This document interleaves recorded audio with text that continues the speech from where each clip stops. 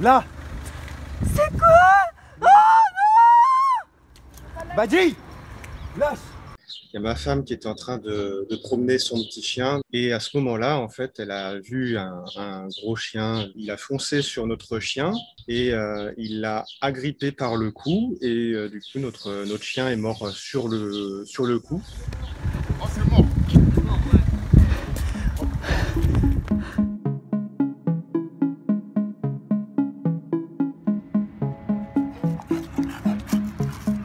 Mais c'est quelque chose qui arrive très fréquemment que des petits chiens soient, euh, entre guillemets, agressés par des gros chiens. Souvent, ça se règle par le problème de l'assurance. La personne, en fin de compte, a une assurance juridique, en général, donc son assurance civile. Et c'est euh, c'est ça qui va jouer entre les deux personnes. Souvent, heureusement, ça se passe très, très bien.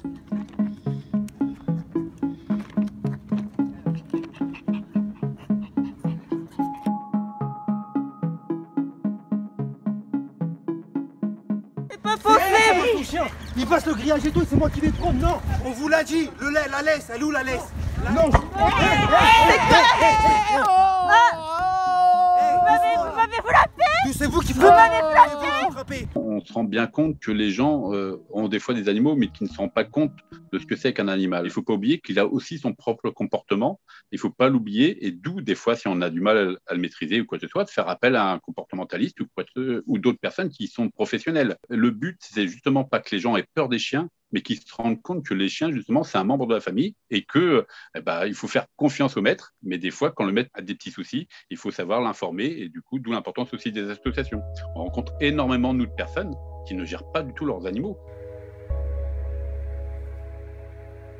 Ce qui est vraiment important pour nous, c'est que vraiment tout le monde sache que ça existe, ce type de situation, que ça peut se passer si les municipalités, les autorités demandent aux gens de tenir leurs chiens en laisse.